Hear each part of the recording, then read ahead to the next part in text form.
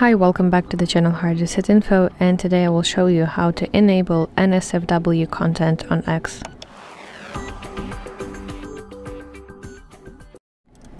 So before we start, I need to mention that I highly recommend you to use your web browser instead of using X mobile application because most of the times mobile application just does not show you such option and you're not able to even change something.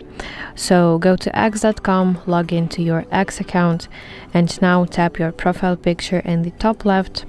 Scroll down to Settings and Privacy, find Privacy and Safety section, open Content you see, and now at the top, this is the option that you are looking for display media that may contain sensitive content.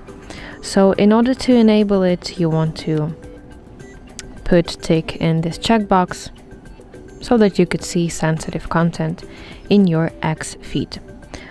Uh, okay, let's open search settings additionally and find option that says hide sensitive content and you want to disable this function so remove tick from this checkbox so that when you search for something on X in your search results you could see your sensitive content.